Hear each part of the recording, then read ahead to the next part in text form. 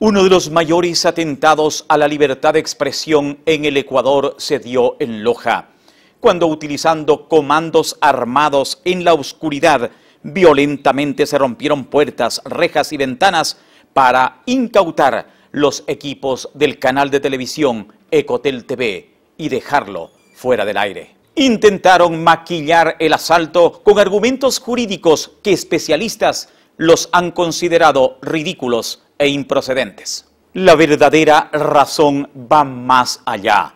Evitar que un canal de televisión independiente recoja y transmita la corrupción existente en la región y también el abuso, a veces protagonizado por el propio presidente de la República.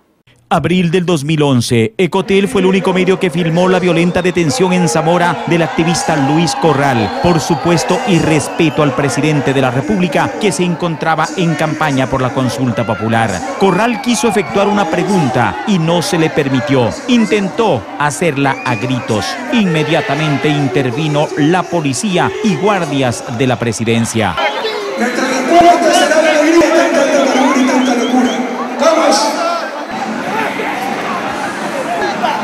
Estas imágenes fueron transmitidas por cuatro cadenas nacionales de televisión cedidas por Ecotel, que también transmitió este tercer incidente del presidente en el que se involucraba con ciudadanos en la campaña por la consulta. Luego, la ira del mandatario no se hizo esperar. ¿Con qué mala fe, no? El comentarista, ¿cómo se llama este señor? Ramiro Cueva, no trata de manipular las cosas. En enero del 2014 el presidente llegó a Loja en campaña por la presidencia y en la caravana de recibimiento hubo poca gente, al extremo que los ciudadanos que caminaban por donde transitaba el presidente ni siquiera los pocos regresaban a ver. Pero esto no debía transmitirse. Ecotel TV lo hizo y mereció como respuesta del gobierno tres cadenas de la SECON con variados insultos al canal y a su director. Con mala fe deslegitimar la participación política del presidente.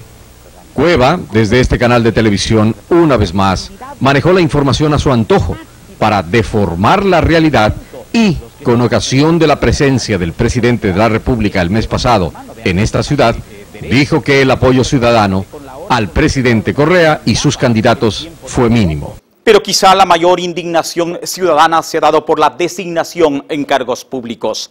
La meritocracia en una provincia de gente preparada y culta se ha dado exactamente al revés.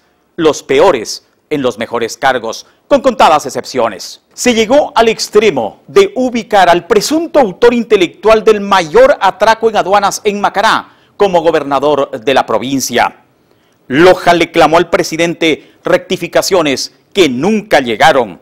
El que van a observar es uno de las docenas de ejemplos que las entrevistas de Ecotel TV desnudaban sus limitaciones. Con bombos y platillos, país anuncia la designación de la máxima autoridad de la cultura en Loja, el delegado del ministro y director. La sorpresa fue mayúscula cuando elegían a un bachiller, que en las entrevistas anunciaba que su designación provenía de una llamada directa de su amigo personal, el presidente Correa.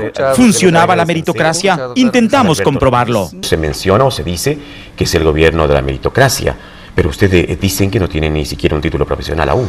Todavía no. Todavía no, lo han considerado. ¿En base a qué méritos será? En base a mi trayectoria dentro del ámbito cultural y dentro de las virtudes, también eh, eh, formo parte de, de, algunas proyecciones artísticas.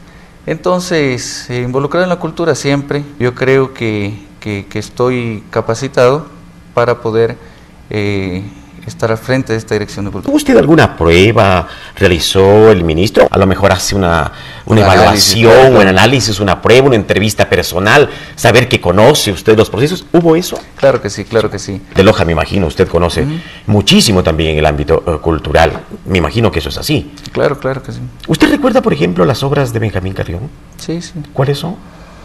¿Por qué Jesús no vuelve? Una. Eh, me cogió, me cogió aquí un poquito, ¿no? Son 11, 11 obras que tiene los creadores eh, de América, entre otras, son 11 obras que tiene Benjamín Carrión, es nuestro máximo exponente de la cultura en, en el país. Claro, claro, claro. La generación de los 30, usted se acuerda, es el movimiento cultural literario más importante que ha tenido eh, eh, la costa del Pacífico, se dice, y particularmente el Ecuador. ¿Recuerda usted yo quiénes creo, fueron? Yo creo, yo creo, yo creo que si me pongo en este momento a hacer memoria, ya que la memoria es un ejercicio, ¿no? O sea, no podría acordar. Un hombre culto conoce muchísimo. ¿Se recuerda usted la generación de los 30? No. Enrique Gil Gilbert, por ejemplo, Alfredo, he escuchado, Alfredo escuchado, Descanseco. He escuchado, claro que sí. Alberto Ortiz. No es que los conozca en su totalidad, pero conozco, no conozco. O sea, no hay que ser eruditos dentro del campo. Eh, pero tener conocimientos básicos en el ámbito cultural, tengo sí. conocimientos básicos, créame. Eh, tal vez los este cuatro lojanos de la generación de los 30 este... que fueron los más destacados en este ámbito, ¿los recuerda? No. ¿No recuerda a Pablo Palacio? Ángel Felicísimo claro, Rojas, claro, claro, recuerdo. Alejandro Carrión, sí, sí, sí, sí. el mismo Benjamín Carrión posteriormente, pero entre los de los 30 son los cuatro que han estado muy vinculados al ámbito cultural en esta generación. Claro, claro, claro. O la primera novela, por ejemplo, del Ecuador, que se, que se habla en el Ecuador, también la escribió en Lojano, en 1850 y algo. ¿Cuál? La Emancipada, Miguel Río Frío.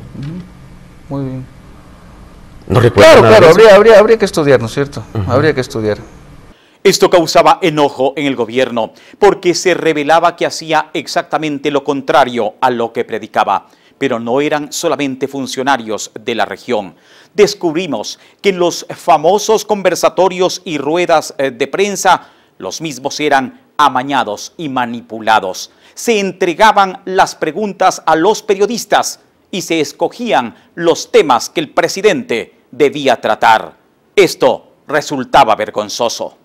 La SECON entregaba las preguntas en papelito, las que debían hacer los periodistas al presidente de la República. Sin embargo, una comunicadora se negó. Me dieron otra que la verdad no la pienso hacer, señor presidente, y le pido mil disculpas. Antes de nada, ¿quién, ¿Quién le da preguntas a usted? Aquí me llegó, no se encontraba la pregunta anterior, la tengo acá. No entiendo, nada, pero no entiendo, señor, cuidado que estamos aquí a nivel no, nacional. sí, exacto, por ¿Quién eso le mismo. entrega a usted una pregunta Aquí me para llegó una pregunta. ¿Pero quién? pues?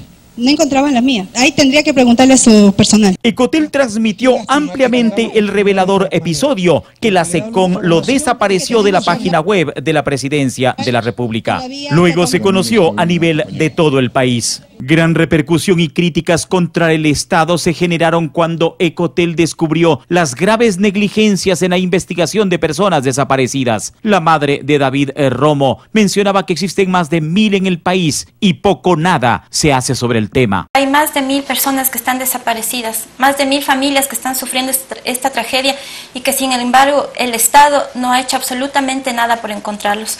La principal falla es en la Fiscalía.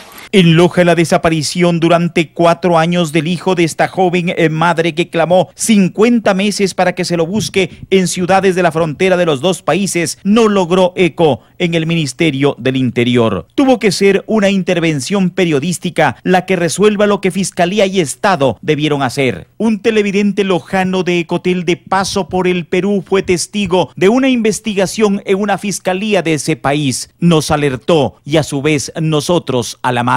Él se perdió aquí en Loja. Sí, aquí en Loja se perdió en el terminal. ¿Quiere irse ahora? Yo sí, por mis hijas quiero irme hoy día. ¿Qué hago?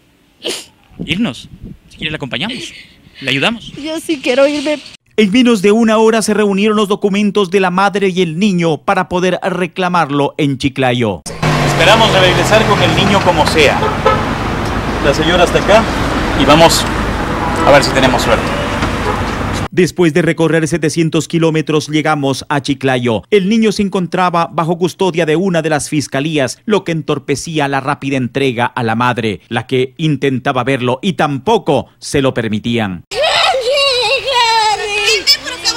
Después de una ardua disputa judicial en Chiclayo, se logró que en un día se pueda reencontrar el menor con su madre y traerlo a Loja, lo que el Estado en cuatro años no pudo. Esto genera malestar y rabia en el gobierno al demostrarse su total y absoluta negligencia en casos de desapariciones. Fue también escandaloso para la Fiscalía y la recién posesionada Neojusticia Revolucionaria la sentencia a esta mujer inocente, la magíster Blanca Calva, a 25 años de cárcel como autora material e intelectual del asesinato de guardias en un asalto a un blindado. Ecotel investigó y dio las alertas. Después de más de 10 reportajes, se reabrió y se determinó por prueba de ADN que el autor del asalto y asesinatos era un hombre, tal como lo evidenció en los primeros reportajes Ecotel. Un servidor de justicia que conscientemente condena a un inocente a sabiendas, repito, de su inocencia, es un monstruo.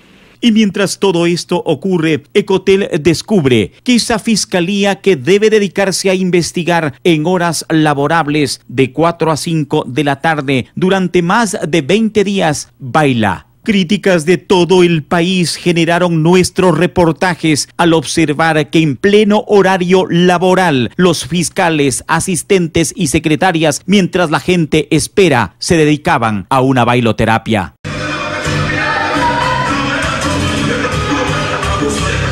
Los violentos allanamientos e incautación en la oscuridad de sus equipos con más de 150 policías se hicieron según el régimen porque el canal se retrasó en el pago de 52 dólares en el 2002. Gran falacia y mentira que se demuestra con lo que el propio Correa dijo en el 2013 sobre la concesión de la frecuencia de Cotel TV. 20 estaciones de televisión de señal abierta a las cuales se les ha renovado la frecuencia después de que han pasado todas las condiciones, los requisitos legales. En Quito, Ecoavisa Internacional. Ustedes saben la posición triste de Ecoavisa, porque era una estación medio seria, pero con el poco envenenado que tiene. Pero no hace un favor. ¿ah? Cada vez que Pinargote nos critica, aumentan los votos, aumenta el apoyo popular. En Acosta, ¿a quién se le renovó la concesión? A Teleamazonas.